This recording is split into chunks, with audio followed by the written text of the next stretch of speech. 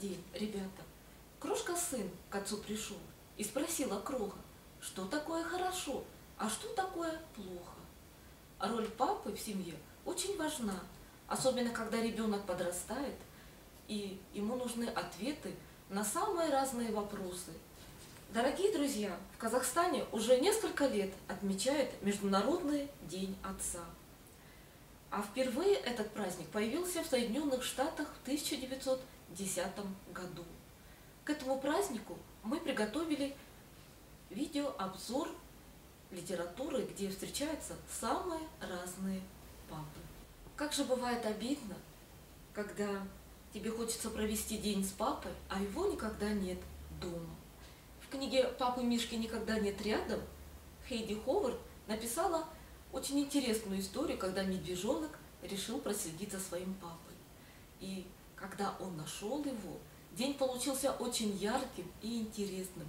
Они вместе провели такое замечательное время, что смелее открывайте книгу и окунитесь в мир приключений.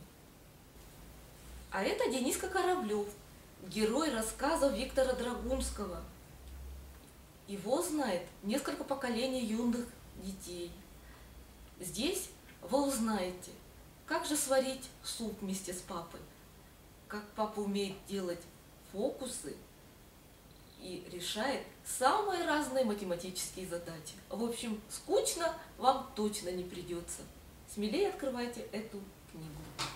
А есть книги, которые нужно прочитать с детства.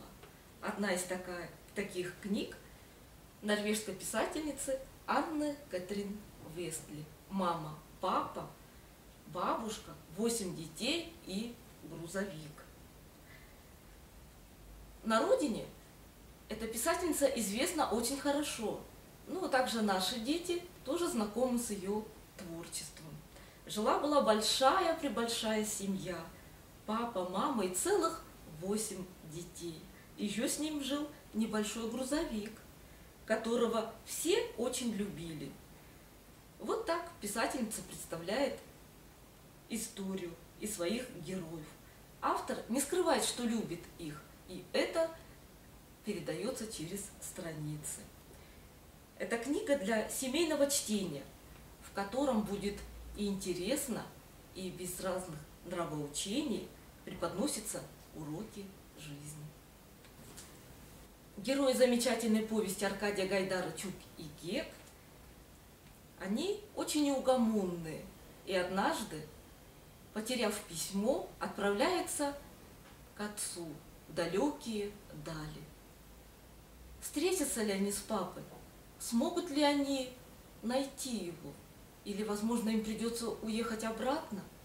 Вы узнаете, когда прочитаете эту замечательный рассказ. Михаил Барановский – известный писатель и папа десятилетнего Марика. Марик очень любознательный. Он знает, что же такое тишина, чего ждать от Деда Мороза и какая связь между тарантулами и деньгами. В этой книге все ответы на вопросы Марика. Десятилетняя девочка Опал вместе с отцом живут в южном городке. Эти герои книги Кейти Камила «Спасибо, Уин Дикси». И однажды возле супермаркета Уин Дикси она встречает нелепого пса, который умеет улыбаться по-человечески. А Пал забирает песика домой и называет его Уин Дикси. Именно собака научит ее быть храброй, мужественной и найти много новых друзей, особенно там, где меньше всего опал ожидала найти. А это замечательная сказка известного писателя Андрея Усачева. Жили-были ежики. Знакомьтесь, это целая семья. Папа ежик, мама ежик и детки тоже ежики. Они живут в большом дремучем лесу. И каждый день с ними происходят разные истории. А какие? Вы узнаете, когда прочитаете эту замечательную сказку. Книга Ирины Зартайской «Мой папа самый лучший» состоит из трогательных историй для самых маленьких читателей. Здесь зверюшки рассказывают о своих папах, и дети, прочитав, узнают, как же важно ценить и любить своих родных и близких, и самим становиться добрыми и отзывчивыми. «Отцовская куртка» – самый большой рассказ Валентины Осиевой. Это почти маленькая повесть о жизни деревенского мальчика. В этой повести рассказывается жизнь семьи на протяжении всех лет войны, где роль большака выполняет десятилетний Ленька.